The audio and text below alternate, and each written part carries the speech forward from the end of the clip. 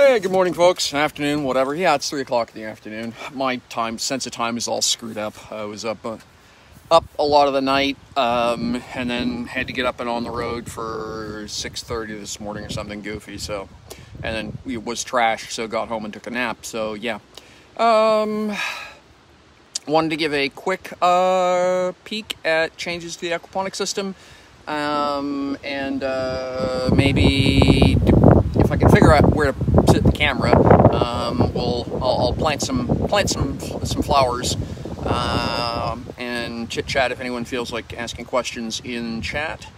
Um, yeah.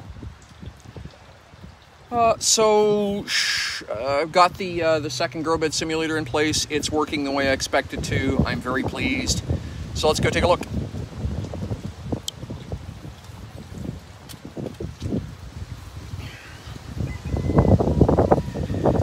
So that's the first one, right? You've seen that one before. This is the new one. And there it is. So it's filling up, right? You can see that now. Um, you can see the pollen line there is the high water mark. So this is about to start draining. I moved the uh, the buckets with the with the flowers um, into this grow bed for a little extra weight. And there we go. Drain cycle's just about to start and you can see the water's dropping. And so this grow bed here drains first really quickly. And it hits empty. And over here you can see the water still pouring out. And this one just keeps running until it hits bottom.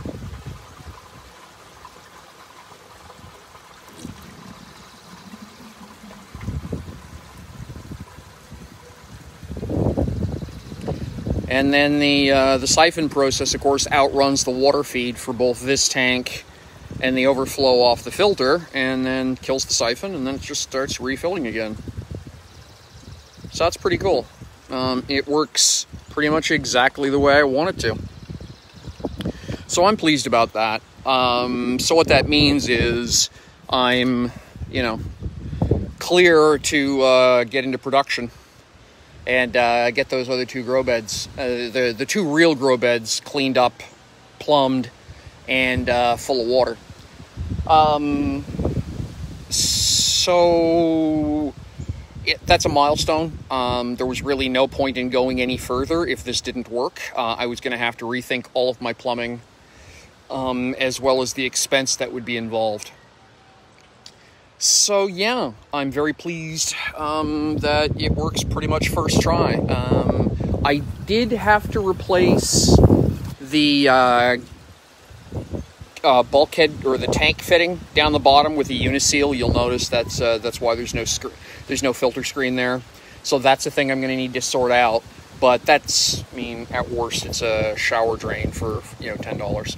Not that concerned um, which is what that is, right? I got a couple of those. Um, there, it's a ten dollar fitting, um, and they do the job fantastic.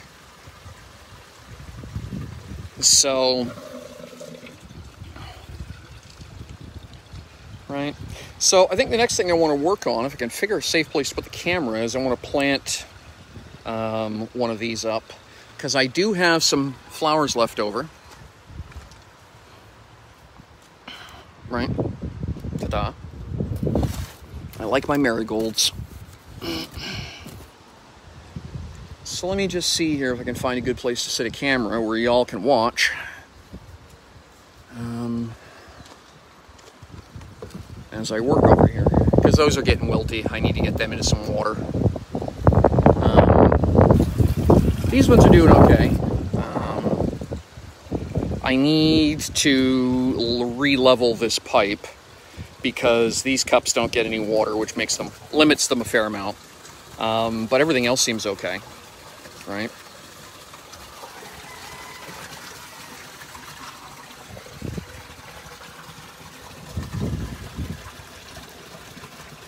I'm impressed by just how fat, how uh, much force that that uh, 50 mil two inch siphon runs at that's pulling an awful lot of water.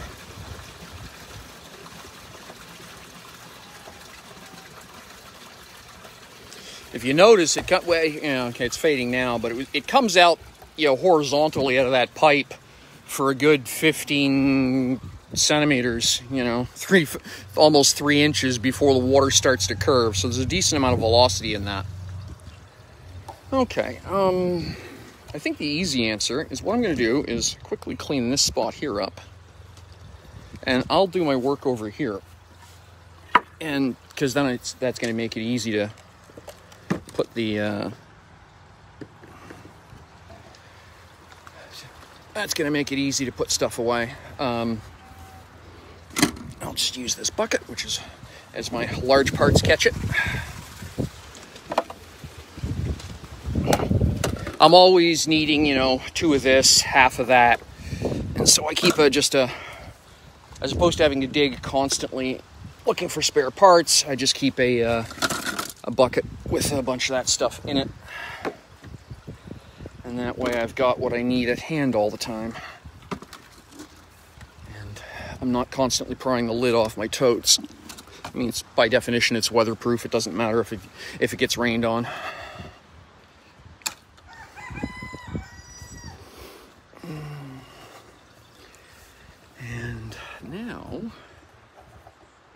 do this right, should be able to set the camera here, want to guess, and now I'm looking at the, yeah, that's what I thought. Okay. Um,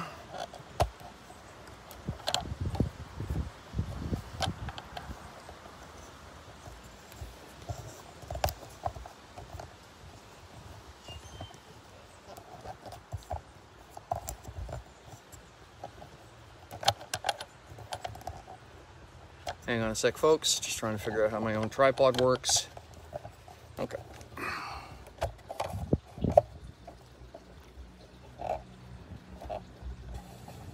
There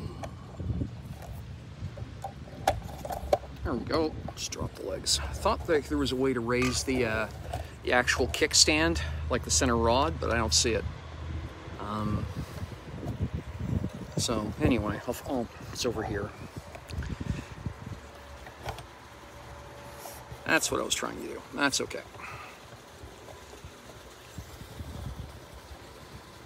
There we are.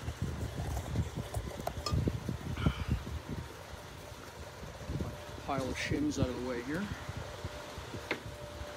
Until I get everything permanently put together, I'm just using a bunch of bits and bobs and boards to level pieces off and things like that. It works messy, but it works. All right. So let's see here. Bag of Hydroton back a bit. That. Okay.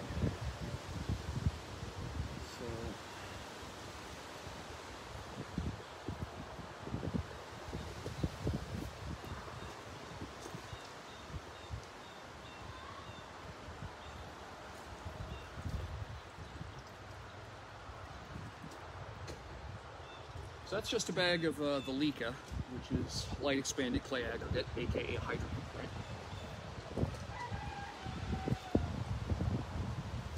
And some Mark 1 marigolds.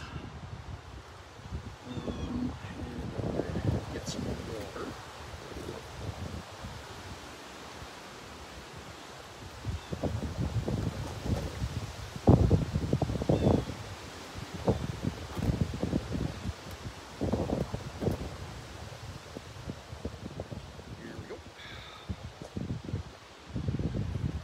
see how well the seeing that before I do anything else and waste a lot of my time and yours. Yeah, there we are. Oh yeah, that's fine. I'll move this down out of the way, and that's a little less intrusive in the camera view. Yeah, cool. Really don't need these, up here either. Move those.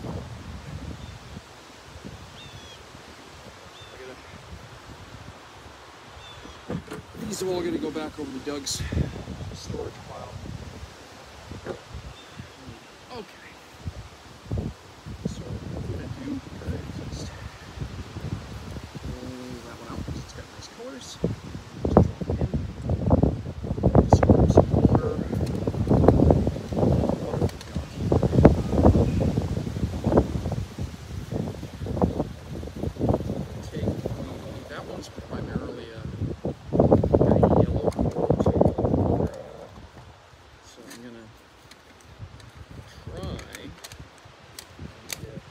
this way.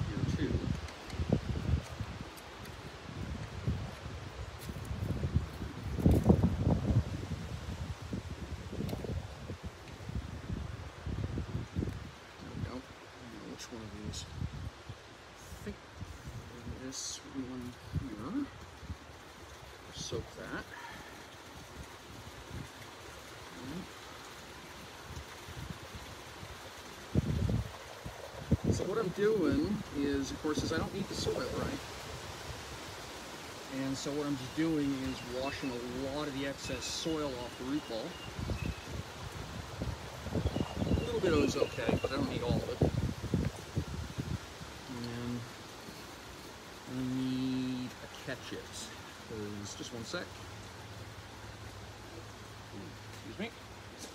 There we go. Because otherwise I'm just going to put clay pellets everywhere. You can see that happening right now. So what I do is I just use this piece of pipe. I'm going to down. Pull some of these extras out of here.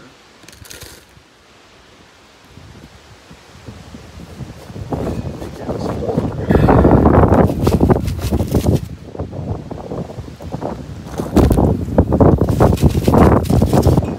It's really windy out here. Sorry about the noise in the camera.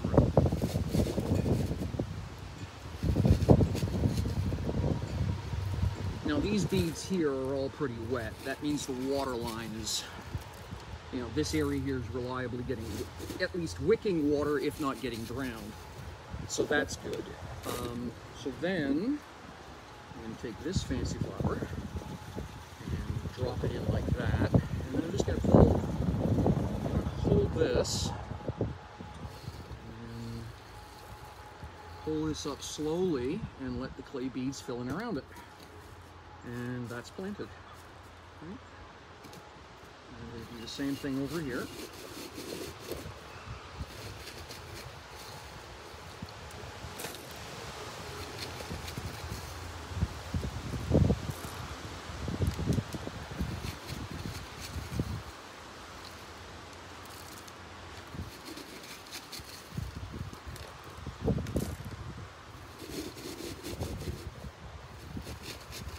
And then I'll just, I'm just literally using, the only reason I'm wearing rubber gloves is every once in a while I get um, uh, texture sensitivity issues, for lack of a better way of putting it. Some days it doesn't bother me, otherwise, other days uh, it just drives me absolutely nuts. So today's one of those days, so just got the gloves on. Um, and there we go. So now again, I'm down deep enough that I'm into the, the wet zone for the, uh, for the pellets. I'm just gonna, again, work the root ball of it. I just want the worst of the dirt to come off of it.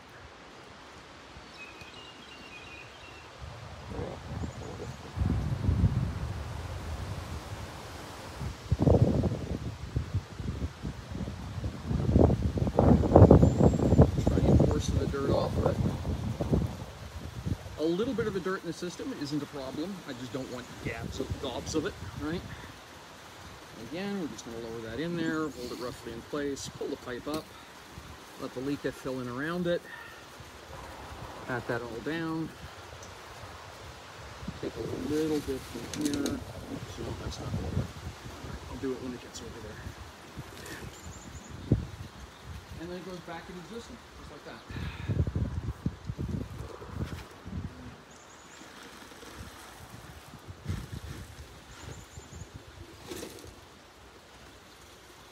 And then so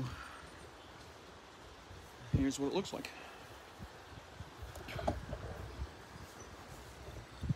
Right? That's the one we just did. Just like that.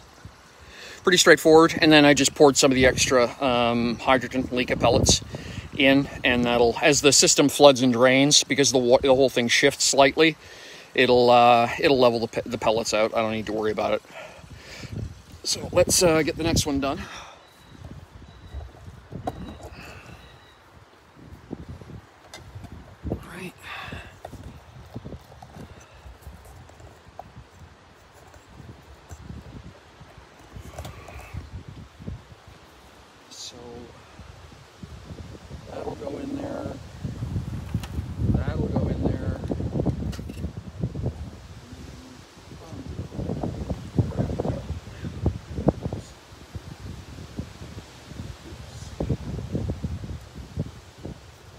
wind knocked that over completely, so that's unfortunate.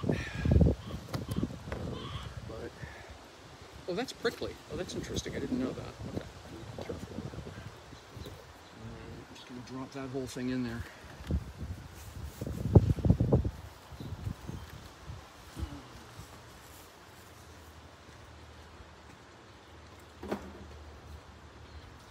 So I'll go grab the other the other uh, plant plant bag and we'll do it again. Um, with this one, um, I'm going to do this plant first, and then probably plant those two side by side, or a little bit closer than I have been. The uh, water and dirt mix is going to get thrown in on top of the, uh, the strawberry patch. I'm not wasting that. That's all good material. It's good fertilizer. That's good soil, right? So uh, that's not garbage.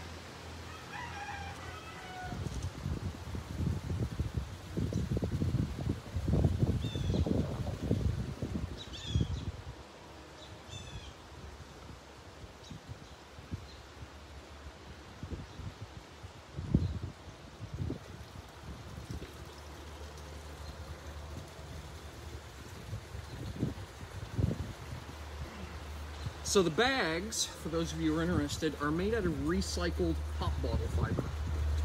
So there's a company um, in Ontario. They reduce uh, old pop bottles down to um, essentially a filament and then use a process, and that's about a millimeter thick wall on the side to spin um, these bags. So they're biologically inert, which is great. In other words, um, you know, they're not going to decompose. At the same token, they're not going to get in the way of um, chemistry processes in the water. Um, and they drain, um, the drain rate is about 90%.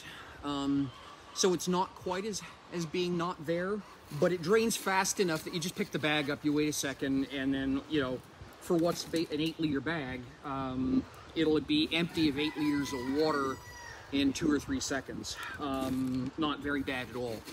So not quite as good as not having a bag, but, you know, still pretty quick, which gives me the best of both, both worlds particularly for plants like tomatoes um, and any of the brassicas because they get really stupid about root creation, uh, particularly in aquaponics.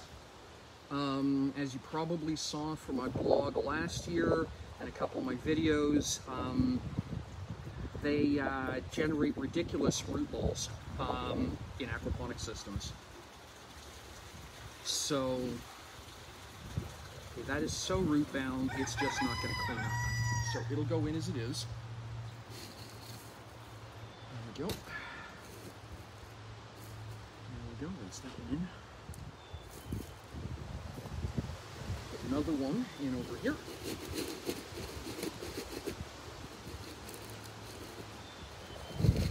Just gonna this up here. I'll pour some of this back in when I move it. Right, and again, I'm just trying to get down to the wet layer. Yeah, and this one here is pretty much there already a little deeper.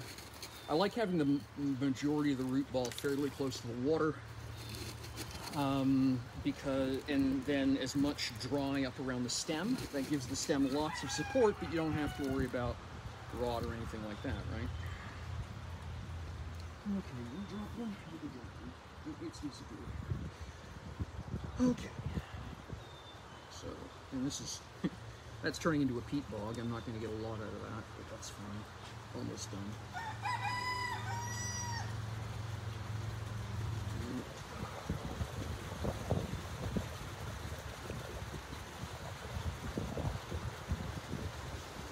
And again, all I'm doing, just running a root ball down a bit, getting the dirt off it, right? Keeping the roots intact, getting the roots, um, but getting the, uh, there we are.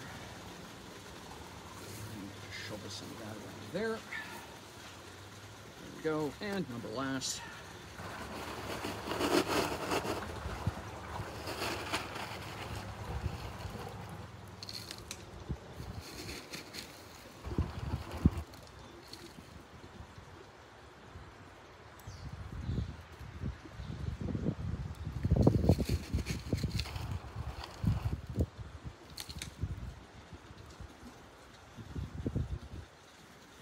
Not expensive. Um, it's about $2 a liter delivered.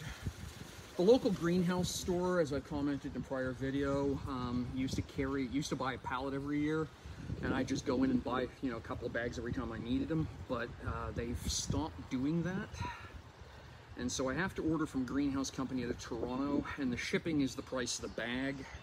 So by the time it gets here, it's about two dollars a liter, um, and that gets pricey, right?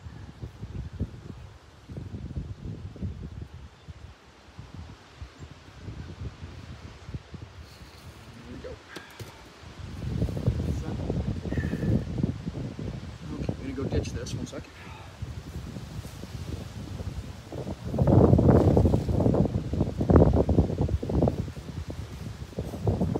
So that just went into the strawberries. Oh, stop it. Just give that a bit of a wiggle. There.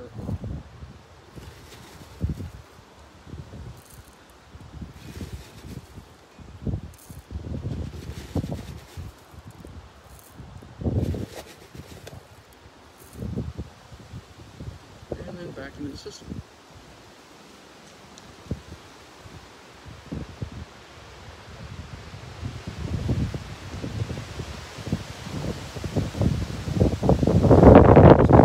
Rest of these in to top it off.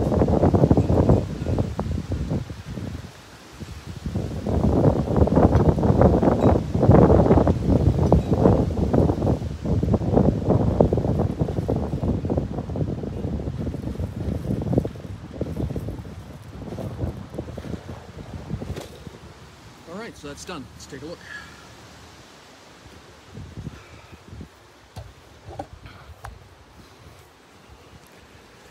Hey James, hey Nat. Thanks for hanging out. So there we go. That's the next one, right? And I can just straighten that up a bit. And there we are. So yeah, that's uh, that's those two planters done.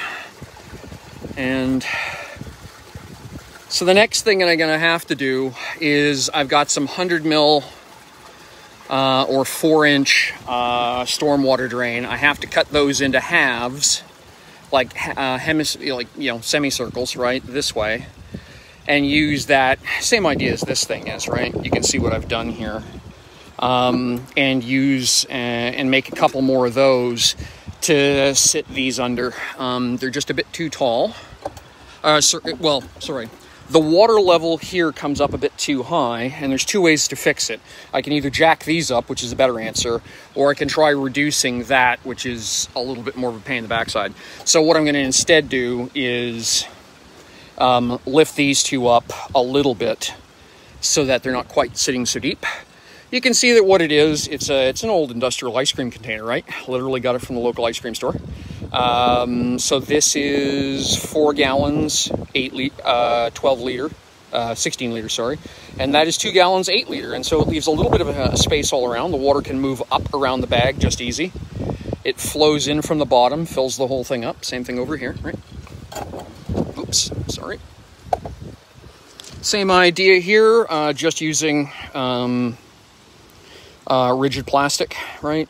Um, I'm trying to get away from these. First off, the sun kills them. Second off is that they are not really recyclable. So while these are much cheaper than those, I like those better. So, but for testing purposes, cheap, easy, accessible, right? So yeah, um, and you can see the flood and drain system keeps keeps on ticking.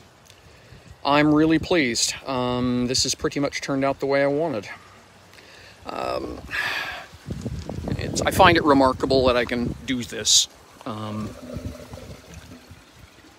we'll take a look here. Sorry, a little awkward on the walkie.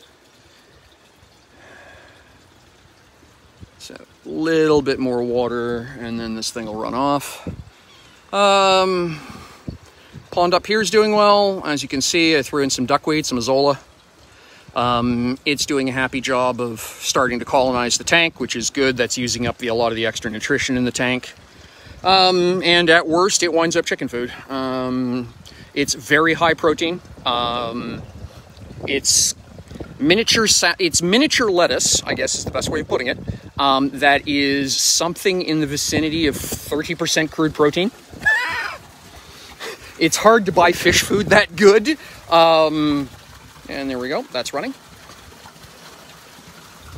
So the Azolla also picks up all kinds of micronutrients and other stuff that tends to not be in regular water.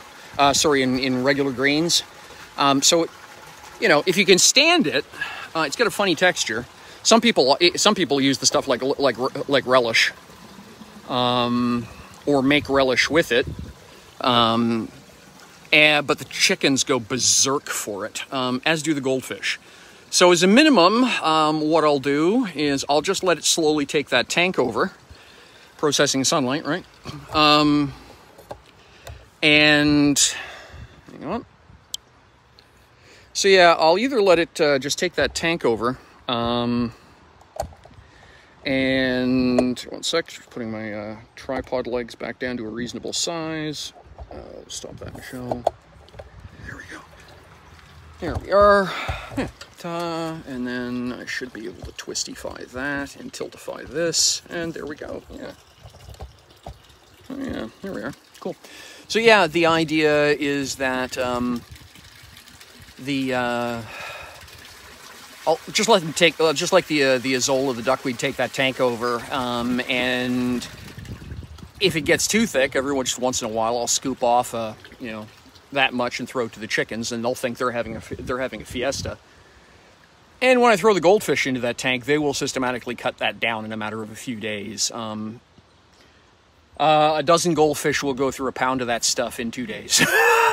like it just doesn't last. So, uh, and again, it's good for the fish, it's good for the chickens. So, yeah, all good. Um, I'm just okay. So yeah, I think I'm done uh, for today. Um, I will be trying to come up with a better way to post this to YouTube. One sec, just adjusting the camera angle here. There we go. That's a bit better. Uh, yeah, um, the last time I did, which was just directly, which was direct export from um, the phone to YouTube. YouTube insisted on taking uh, a 1080p or 720p recording and downsampling it to 240p, which is pretty bloody stupid. Um, so what I'm going to wind up having to do is export this, load it into the Apple uh, Creation tool, and then up and then you know upload it from the Apple Creation tool just so that YouTube doesn't think it's it doesn't think it's getting away with something by downsampling a YouTube a, uh, a Facebook image or a Facebook video. It's frustrating. Like you're not buying points from me, um, folks over at YouTube. It's just irritating. I'm trying to talk to as many people as possible, and you're just making it difficult for me. Um, so yeah.